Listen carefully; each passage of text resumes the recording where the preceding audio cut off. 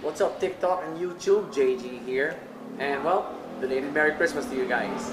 Now, I just saw this um, ad on Facebook that's um, telling you to buy into a, what you call this, his Facebook blueprint, yung formula for success on Facebook ads, uh, something to that effect.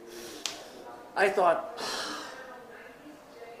Facebook is over the hill when it comes to ads. Right?